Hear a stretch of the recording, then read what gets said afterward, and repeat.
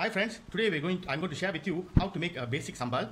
Let's look into the ingredients that we have to grind first before making a sambal. I have here one uh, roughly chopped onion, six shallots, serai, garlic, as well as ginger. This ginger is about one inch uh, ginger, garlic about six cloves, and then we have separately soaked dry chili in hot water for about 15 to 20 minutes. These two ingredients we have to grind it separately, and then in a pot of oil we'll have to cook it together as to make a basic base sambal. And then we have to move on to the second stage where we make the proper sambal. With this sambal, we will have, have to add in. Right now, I'm going to do a potato and tomato sambal. Very easy, basic.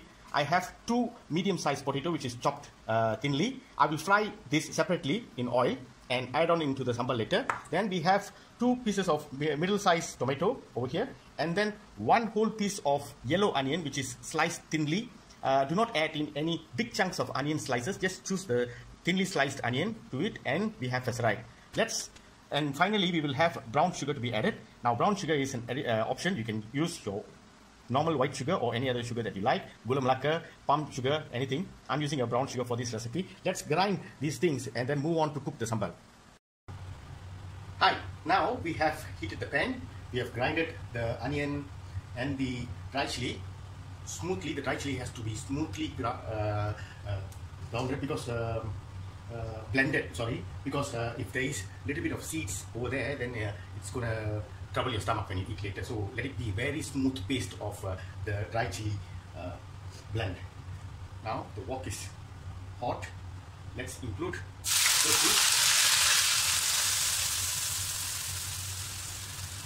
the grounded onion, garlic, serai, slowly we'll cook it. I used the same oil that I used to fry the potato earlier. No matter the taste and everything will blend together. Now cook this in a medium heat. Let the onion cook first and then later on we'll add in the dry chili paste. Once this is done, this would be the base of the sambal. You can contain it in a, a jar uh, for about a week or so. It will be fresh. You can use it for any other uh, cooking that you're going to incorporate a sambal later. You can use it for nasi goreng. You can uh, use it for noodles. You can use it for mee goreng. You can also use it for other sambal that you want to use. So don't waste it if there is extra. Put it in a jar and then keep it not in a plastic jar but a glass jar. And uh, as usual, uh, whenever you're going to take out the sambal, make sure the spoon that you're going to use is dry. If the spoon is wet, the sambal uh, will be bad. It, it, won't last for one week. It be spoiled. So here and there, try to serve, mix it well. You will know that it's starting to cook because the onions smell, the raw smell will go off. You'll know the onion, the garlic. You see bubbles all around, which shows that it's properly cooking right now. Let's wait a few minutes more, for about uh, two minutes or so, then we add in the chili paste. After a few minutes, about uh, two minutes or so, you can see the, the onion is getting thicker. Another reason why we have to cook both this uh, uh, dry chili paste as well as the onion paste is we have to make it thicker, evaporate all the water that we added when we are grinding it in the first place. See, it's actually starting to separate. The water has evaporated from here. Now we have to cook it furthermore by adding in the chili paste, dry chili paste that we grinded just now. Same thing, we have to evaporate all the water that has been incorporated before. There you go.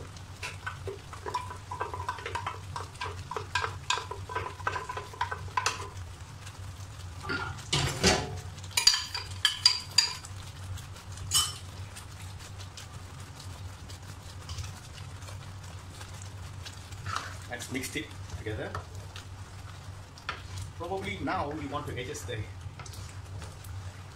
fire into a it's slightly more than the medium fire that we set before not so much, not so hot, because you have to slow cook this. Ah, you will experience this popping of the chili. There's no choice because there's water inside it, so it reacts in such a way. The whole kitchen will be in a mess. As they say, the process of cooking includes cleaning the kitchen altogether after the cooking itself. So you're going to have some job to do. Wipe out the surrounding of this wok because of the damage done by the sambal. But it's all worth it. Indulgence. One thing I would like to share with you is that uh, please be careful when you're adding in oil to cook this sambal because you're already adding oil in this and then after that you have to make the ikan bilis sambal or, or potato sambal or whatever sambal that you want to make later you're going to add more oil. So add a little bit oil here and medium oil over there as well so that your sambal will be too oily. It's pointless for us to do home cooking if it's not going to be slightly healthier than what you can have in the restaurant.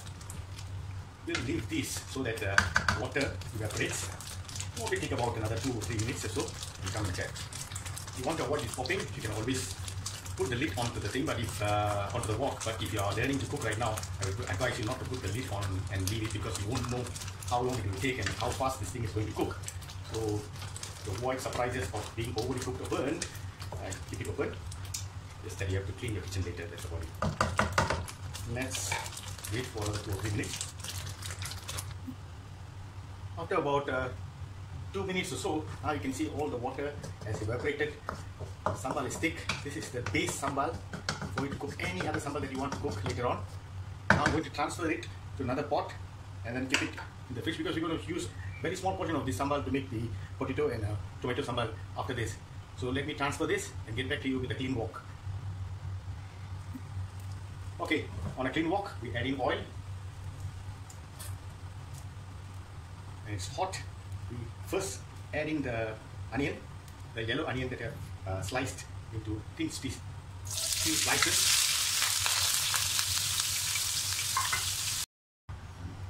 Okay, let's quickly see how to do the sambal.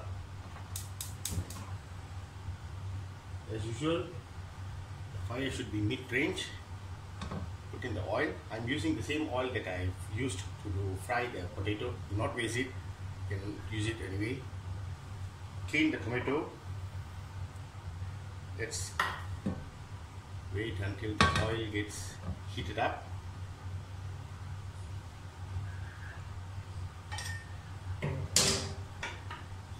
The sambal duration of the sambal is just about 10 to 15 minutes because we have already cooked the paste of the sambal already. So we just have to caramelize the onion and then put in the tomato as well as the potato. Should be okay.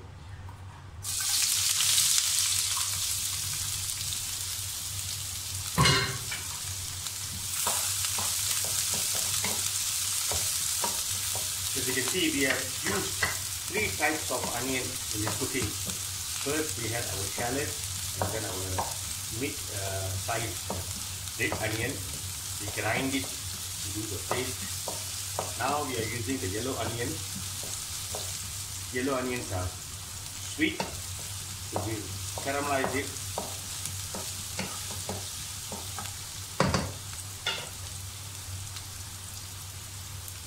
Once you caramelize it, add in your tomatoes.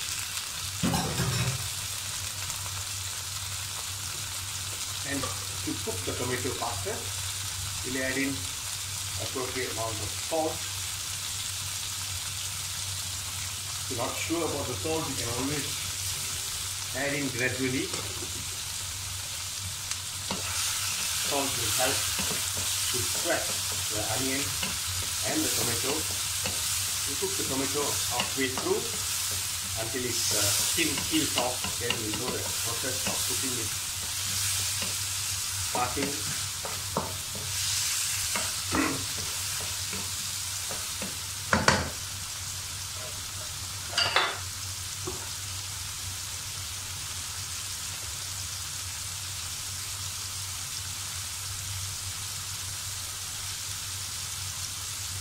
I decided to also show you how to do uh, shrimp sambal, sambal after this vegetarian sambal. So you have two types of eating, veggie and non-veggie dish.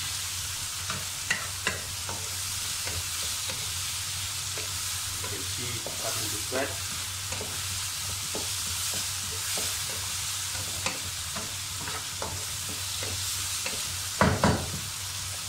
In the potatoes.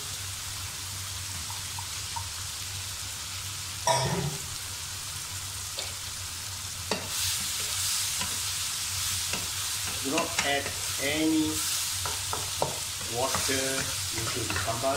Sambal is known to be thick and hot. Shouldn't be watery.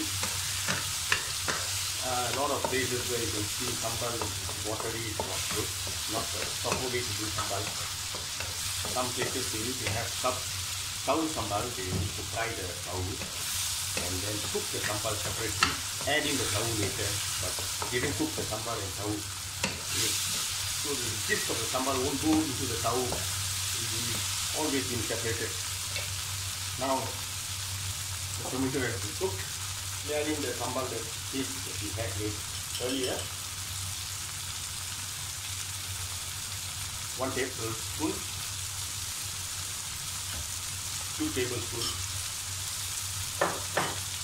Let's cook this first. If you feel like you need more spice and add more, you will have this is enough. It.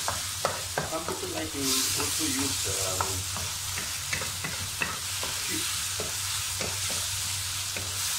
tamarind sambal. You can go ahead and use it. I prefer not to have tamarind sambal.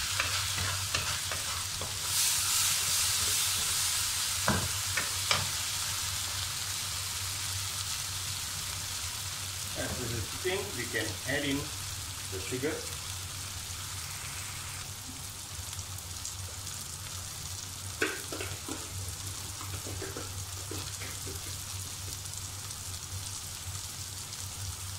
One tablespoon of sugar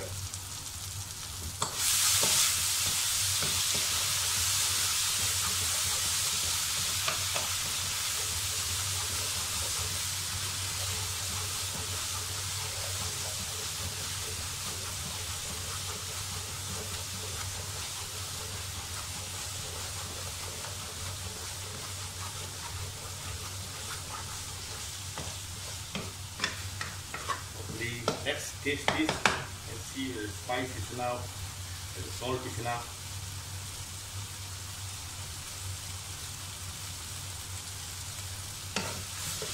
Perfect. We've the vegetarian sambal, we'll move on to the shrimp sambal after this. Okay friends, we'll look into how to do a shrimp uh, sambal. Pan is hot with oil. Adding the onion.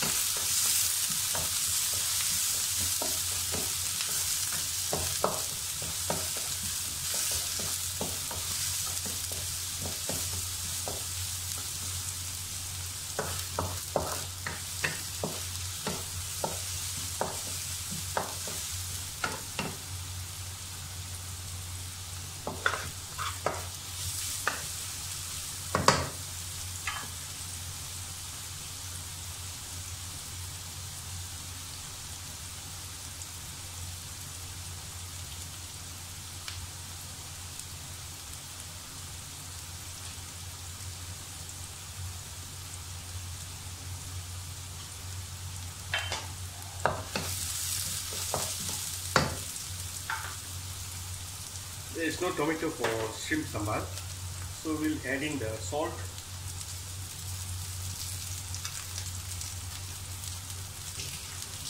To make the onion cook faster, caramelize it.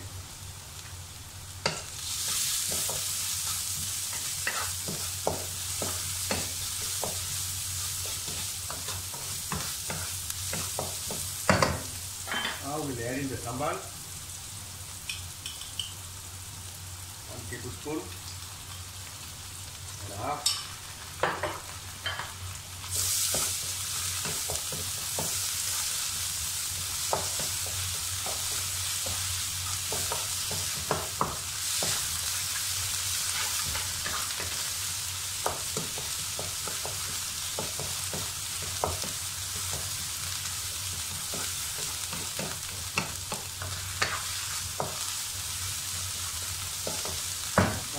point we'll add in the butter.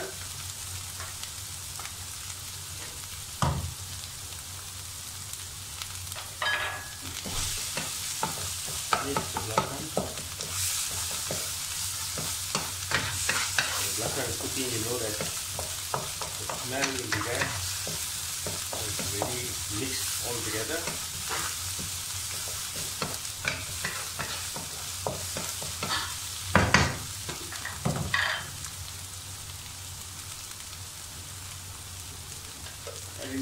1 tablespoon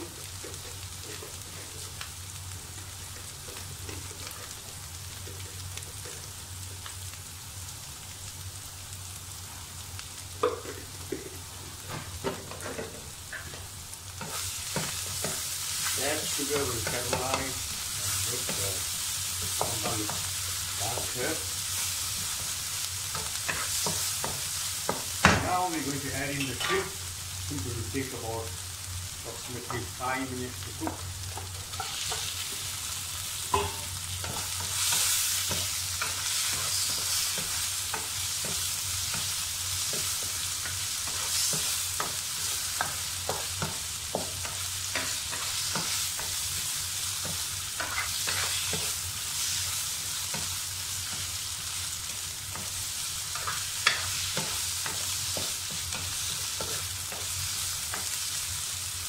need to add one more tablespoon of, uh,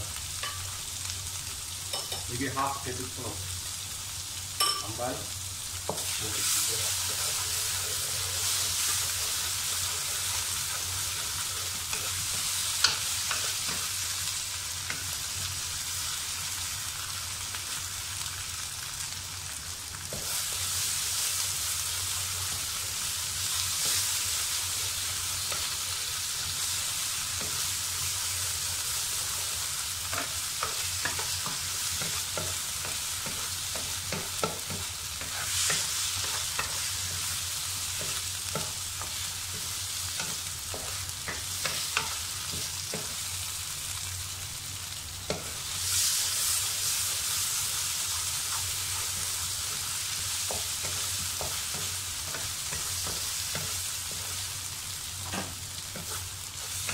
Now sambal is ready.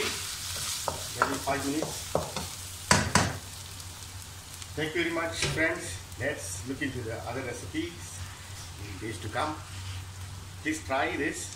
Like and share and comment. If you have any questions, you can question in the comment box. Thank you very much. Bye.